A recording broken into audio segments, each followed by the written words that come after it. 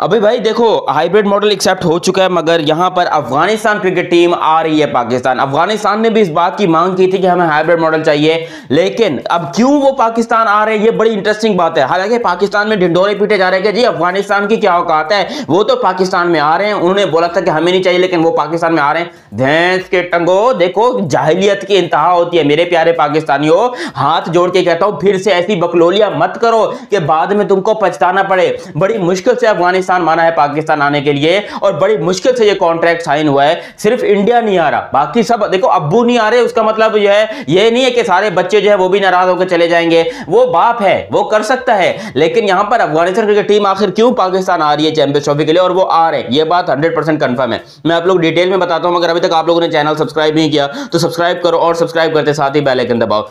हुआ कुछ यूँ कि अफ़गानिस्तान क्रिकेट टीम और जय शाह के बीच में जब मीटिंग हुई प्री मीटिंग हुई, यानी कि जो आईसीसी के हेडक्वार्टर में अगर देखते हो, वो और मरवेज अशरफ, वो पहले से मिल चुके थे जय शाह से। जय शाह साहब से मुलाकात हुई और वहाँ पर इस बारे में बात की गई हाइब्रिड वर्ल्ड के ऊपर। तो जय शाह ने उसको समझाया कि अगर तुमने पाकिस्तान को छोड़ दिया तो ये बर्बाद हो जाएँगे। ये किसी काम के नहीं रहेंगे। ये वैसे ही बर्बाद है। हम तो वैसे नहीं जा रहे। हमारे इनके साथ पॉलिटिकल जो है वो पंगे चल रहे हैं। लेकिन आप ना, आप ऐसा ना कीजिए क्योंकि आपके अंदरूनी ताल्लुकात बहुत हैं। क्योंकि आप लोग भी पठान है और अफगान, पाकिस्तान में भी पठान है। अगर आप पाकिस्तान में नहीं गए तो पाकिस्तान के पठानों को बुरा लगेगा। क्योंकि भाई, पाकिस्तान सिर्फ़ सराइकियों का, सिंधियों का, पंजाबियों का तो है नहीं। वो पठानों का भी उतना ही है। बलोचों का भी उतना ही है। वो सबका उतना ही है। तो आप अपने पठानों को बोलिए कि थोड़ा गुस्सा ठंडा रखें। मुझे पता है कि पठान गुस्से तेज होते हैं। लेकिन फिर भी आप जाइए पाकिस्तान में। हम नहीं चाहते कि हमारा बेचारा बच्चा जो है वो बिल्कुल लावारिस घूम जाए। मतलब अगर सोचो दो कंट्रीज़ बाइकआउट करती हैं तो फिर तो ऑफिशियल तौर के ऊपर आईसीसी के रूल्स में है ये। ऑफिशियल तौर के ऊपर फिर पाकिस्तान से पूरी की पूरी चैंपियंस ट्रॉफी छीन ली जाएगी। अगर दो कंट्रीज़ बाइकआउट करती हैं, जबकि एक ने तो किया हुआ है इंडिया तो इसीलिए ये जय शाह की मेहरबानी है। ये जो पाकिस्तान में घंटे बैठकर लानती घंटे बैठकर जय शाह को बुरा भला कह रहे थे ना कि इसने पॉलिटिक्स की है, ये तो पाकिस्तान का बुरा चाहता है, इसने पाकिस्तान के क्रिकेट के साथ धोखा किया, ये किया, वो किया, ये बहुत घटिया बकवास कर रहे थे जय शाह के बारे में। लेकिन मैं हाथ जोड़ के शुक्रिया अदा करना चाहूँगा जय शाह साहब को जिन्होंने पाकिस्तान की क्रिकेट की इज़्ज़त बचाई है। अफ़गानिस्तान के हाथों। अफ़गानिस्तान तो लूटने के चक्कर में था हमारी इज़्ज़त। बड़े अच्छे तरीके से, और उनका हक भी बनता है। जितने घटिया स्टेटमेंट पाकिस्तान के चेयरमैन की तरफ़ से गए थे कि अफ़गानिस्तान से आए लोग जो है यहाँ पर टेररिज्म कर रहे हैं। ये जब बात की जयशाह अपना मोहसिन नकवी ने तो फिर अफ़गानिस्तान लोगों का गुस्सा जायज़ था। उन्होंने बोला, हम क्यों जाकर खेलें? लेकिन जयशाह साहब की मेहरबानी है कि अफ़गानिस्तान को उन्होंने मना लिया कि आप लोग के काम कीजिए। आप लोग भी, देखो, हो तो सकता है पॉसिबिलिटी है, लेकिन फिर ये भिखारी किस काम के रहेंगे?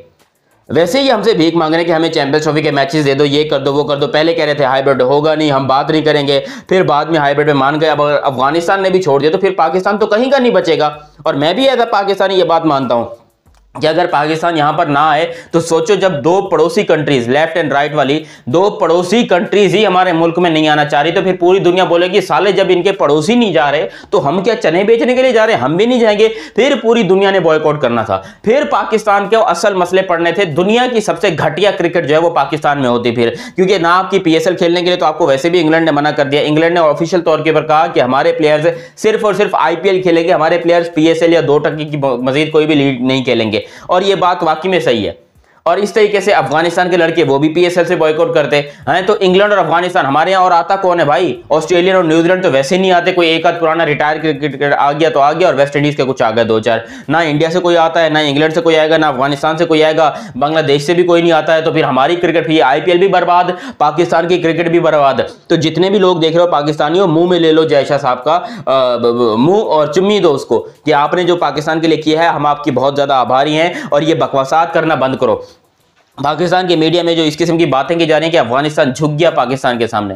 लिटरली ये किए जा रहे हैं कि अफ़गानिस्तान झुक गया पाकिस्तान के सामने तो अफ़गानिस्तान ने ये बात पहले ही प्रूफ कर दी कि हम नहीं झुकते। दुनिया में कोई भी झुकेगा, कुछ भी करेगा मतलब दुनिया जो है वो इधर से उधर हो जाए, कुछ भी कर ले, हमें जो करना है वो हम करके रहेंगे, क्योंकि इस टाइम पर इंडिया और अफ़गानिस्तान के जितने अच्छे ताल्लुकात हैं, दुनिया में किसी भी के नहीं है। अफ़गानिस्तान इंडिया का भाई बना हुआ इस टाइम के ऊपर। लिटरली मैं पहली दफ़ा देख रहा हूँ कि एक पठान जो है वो किसी को, एक तो पठानों की जबान बड़ी खतरनाक है। वो किसी को भाई बोल दे तो फिर ज़िंदगी भर उसका साथ निभाते हैं। और वो किसी को दुश्मन बोल दे तो उनकी खानदानी दुश्मनी चलती है। मैं पर्सनली तौर के पर बहुत सारे पठानों को जानता हूँ भाई,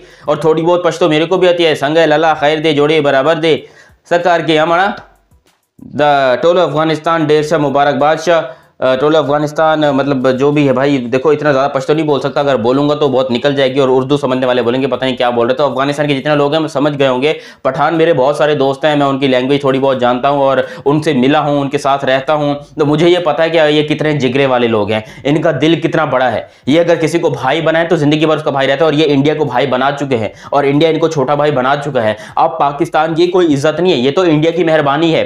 आईसीसी की मेहरबानी है। आईसीसी के चेयरमैन जय शाह की मेहरबानी है कि उसने अफ़गानिस्तान के ऊपर थोड़ा बहुत यू नो एक रहम दिखाया और अफ़गानिस्तान को बोला कि भाई आप खेल लीजिए पाकिस्तान से, क्योंकि अगर आप पाकिस्तान से बॉयकआउट करते तो फिर पूरी की पूरी चैंपियंस ट्रॉफी बाहर ले जानी पड़ेगी और वैसे भी छब्बीस सालों में पहली दफ़ा कोई आईसीसी का टूर्नामेंट पाकिस्तान के अंदर हो रहा है।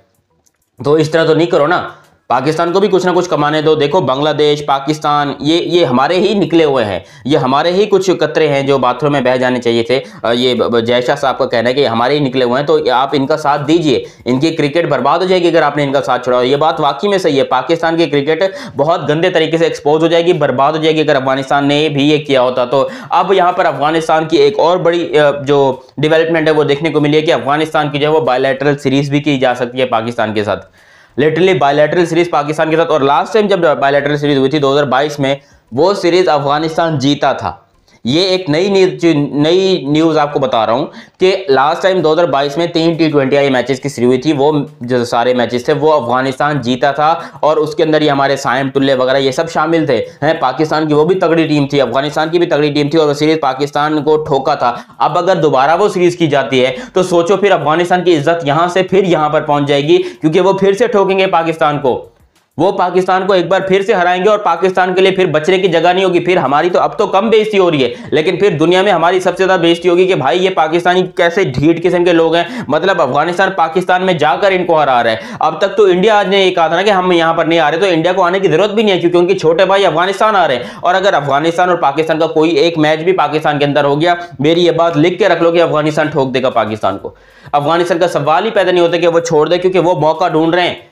उनको मौका चाहिए कि भाई किस तरीके से ये पाकिस्तान के लोग हमारे हत्ते चढ़े, किसी तरीके से ये पाकिस्तान की जो आवाम है, ये हमारे हत्ते चढ़े, हम इनको एक्सपोज करें। जो अपने आप को बहुत बड़ी टीम बोलते हैं कि हमारी बहुत बड़ी टीम है। अबे मैं क्रिकेट का एक जर्नलिस्ट आपको साफ़ तौर के ऊपर बता रहा हूँ कि भाई हमारी क्रिकेट इस टाइम पर ऐसी, इस लेवल की नहीं है कि हम जिम्बाब्वे से जीत सकें, क्योंकि हम जिम्बाब्वे के सामने एक्सपोज हो रहे हैं। और एक बार नहीं बार बार एक्सपोज हो रहे हैं। बार बार हम जिम्बाब्वे के सामने हार रहे हैं। लेकिन फिर भी हम अपने आप को जो है बड़ा चढ़ाकर बोलते हैं कि हमारी क्रिकेट नंबर वन है, हमारी क्रिकेट ये है, हमारी क्रिकेट वो है। भाई, कुछ भी नहीं है हमारी क्रिकेट हमारी क्रिकेट घंटे पर चढ़ी हुई है। दुनिया थूकती है हमारी क्रिकेट के ऊपर। लेकिन बार बार हमें जाकर यही कहा सिखाया जाता है कि जी, पाकिस्तान की तारीफ़ करो। मुझे मीडिया पे आकर ये बातें बहुत सारे पाकिस्तानी बोलते हैं। कि भाई अपने पाकिस्तान की तारीफ़ करो, अपने पाकिस्तान की तारीफ़, अब कुछ अच्छा करोगे तो तारीफ़ करेंगे। वो अफ़गानिस्तान वाले कर रहे हैं अच्छा तो उनकी तारीफ़ कर रहे हैं। इंडिया वाले तो वैसे ही अच्छा करते हैं तो उनकी तारीफ़ करते हैं। लेकिन अब उम्मीद करता हूँ कि भाई, कुछ ना कुछ बेहतरी की तरफ़ जाएगा पाकिस्तान, और यहाँ पर थोड़े बहुत यू नो तो आप कह लो शिकन थोड़े दूर होंगे।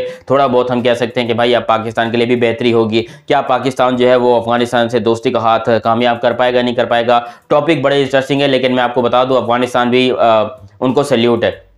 उनके सबर को सैल्यूट है। जिस तरीके से उसने पाकिस्तान का साथ नहीं छोड़ा और बोला कि चलो ठीक है यार, हम भी खेल लेते हैं, आखिर छोटे भाई लोग हैं हमारे पाकिस्तान वाले। सब चीज़ों के बारे में डिटेल में मजीद भी बात करेंगे। फ़िलहाल अभी तक आप लोगों ने चैनल सब्सक्राइब नहीं किया तो सब्सक्राइब करो और सब्सक्राइब करते ही बेलाइकन दबाओ। मेरा नाम है दयाना तरी मिलते हैं अगली वीडियो में, तब तक के लिए आप मुझे दीजिए इजाज़त। अल्लाह हाफिज़ एंड लव यू हो गया।